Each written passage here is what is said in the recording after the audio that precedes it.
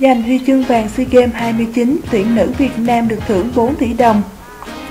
Nỗ lực hết mình của các cô gái của đội tuyển nữ bóng đá Việt Nam đã được đền đáp xứng đáng. Sau tấm huy chương vàng SEA Games giành được tối ngày 24 tháng 8, thầy trò huấn luyện viên Mai Đức Trung được thưởng nóng 4 tỷ đồng. Gặp Malaysia vào khung giờ buổi tối là một thuận lợi rất lớn với tuyển nữ Việt Nam. Bên cạnh đó, việc biết kết quả trận Thái Lan và Philippines đã giúp cho các học trò của huấn luyện viên Mai Đức Chung thêm động lực để chiến đấu. Với họ, khoảng cách năm bàn để vượt qua người Thái không phải là một nhiệm vụ quá khó, dù đối thủ là nước chủ nhà. Thi đấu rất hưng phấn với nhiều siêu phẩm, cuối cùng tuyển nữ Việt Nam đã giành chiến thắng xứng đáng với kết quả 6-0, qua đó đòi lại qua đó đòi lại tấm huy chương vàng SEA Games từ tay Thái Lan. Rất đông quan chức, VFF, báo chí và người hâm mộ đã xuống sân chúc mừng thầy trò huấn luyện viên Mai Đức Trung để động viên tinh thần toàn đội, động viên thông tin từ VFF sau khi tổng hợp các sau khi tổng hợp lại các nguồn khác nhau, tuyển nữ Việt Nam đã được thưởng nóng lên tới 4 tỷ đồng. Đây là phần thưởng xứng đáng với những nỗ lực, hy sinh và cả sự thiệt thòi của bóng đá nữ so với bóng đá nam.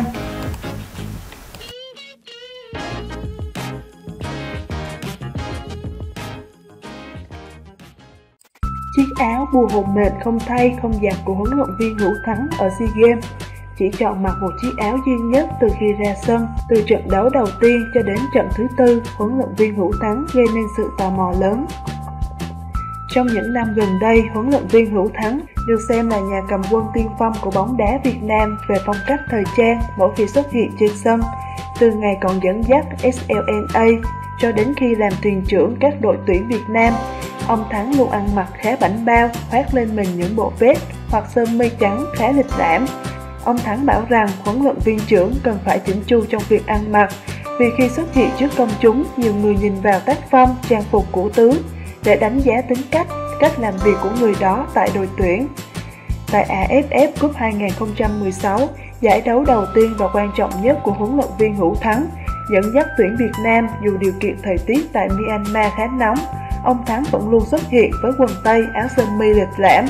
Nhưng đến SEA Games 29 lần này, khá nhiều người ngạc nhiên khi ông Thắng từ bỏ phong cách ăn mặc lịch sự thường thấy, thay vào đó là bộ trang phục khá giản dị, với quần kaki, áo phông, Bộ trang phục được ông mặc suốt từ trận đấu đầu tiên gặp U22 Đông Timor cho đến trận tiếp theo U22 Campuchia, U22 Philippines và mới nhất là trong cuộc đọ sức với U22 Indonesia.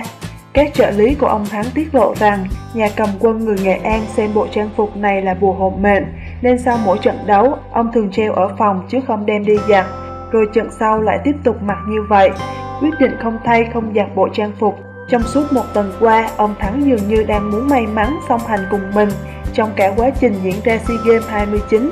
Tuy nhiên khi chứng kiến sự bế tắc và vô duyên của các tiền đạo U22 Việt Nam trong trận hòa 0-0 trước U22 Indonesia vừa qua, nhiều người lại đặt dấu chấm hỏi về mức độ may mắn của huấn luyện viên Hữu Thắng. Học trò không thể chọc thủng lưới đối thủ. Để rồi khi hết trận, ông thốt lên, đội chúng tôi đã không gặp may mắn. Trong bóng đá, yếu tố may mắn có ý nghĩa không nhỏ trong thành công. Nhiều cổ động viên đặt câu hỏi khi đứng trước trận đấu quyết định với U22 Thái Lan, liệu rằng ông Thắng có gặp may mắn để dẫn dắt các học trò lách được vào cửa bán kết khi mà áp lực dư luận đang bủa vây.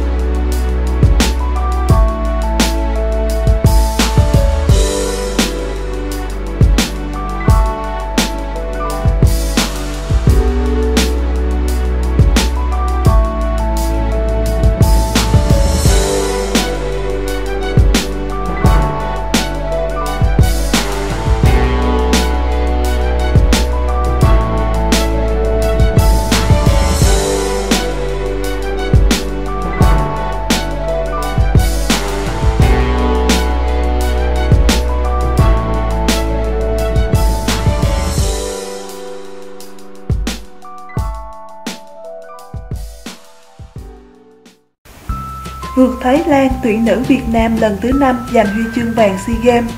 Đoàn quân của huấn luyện viên Mai Đức Chung đã không gặp nhiều khó khăn để ghi đến 6 bàn thắng vào lưới chủ nhà Malaysia, qua đó giành lại tấm huy chương vàng bóng đá nữ từ tay người Thái.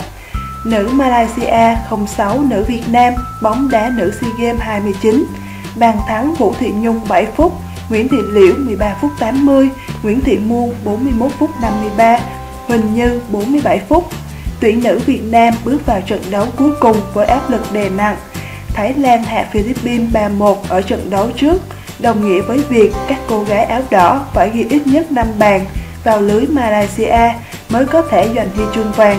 Tuy nhiên, đối thủ ở lượt chân cuối của tuyển nữ Việt Nam chỉ là đội tuyển yếu nhất giải. Tuyển nữ Việt Nam đã kiểm soát hoàn toàn trận đấu, tạo ra vô số cơ hội và có được 6 bàn thắng vào lưới đội chủ nhà trong vòng 90 phút.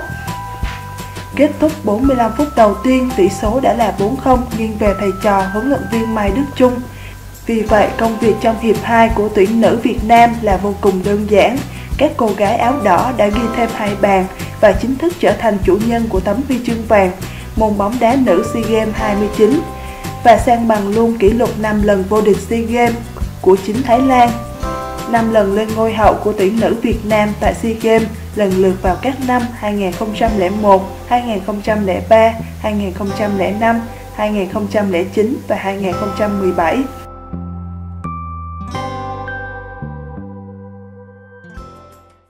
Hữu Thắng từ chức ngay sau trận thua Thái Lan, thông báo từ nhiệm được huấn luyện viên Hữu Thắng đưa ra ngay sau khi Việt Nam thất bại 0-3 và bị loại từ vòng bảng SEA Games 29. Chắc chắn tôi sẽ từ chức, tôi chịu hoàn toàn trách nhiệm, huấn luyện viên Hữu Thắng nói. Mong rằng sau quyết định của tôi, mọi người sẽ hiểu rõ hơn với những cái đã làm và chưa làm được cho U22 Việt Nam. Thất bại lần này không nên đổ đầu lên các cầu thủ, Tôi là huấn luyện viên trưởng, tôi chịu hoàn toàn trách nhiệm, mong truyền thông trong nước hãy cố gắng nương nhẹ, đừng chỉ trích cầu thủ của tôi. Trước trận đấu trên sân Selayang chiều ngày 24 tháng 8, Việt Nam đứng đầu bảng B với 10 điểm và hiệu số cộng 11 nắm cơ hội lớn nhất trong cuộc đua giành vé vào bán kết. Thầy trò huấn luyện viên Hữu Thắng chỉ cần một trận hòa, trong khi Thái Lan và Indonesia đều phải tự thắng.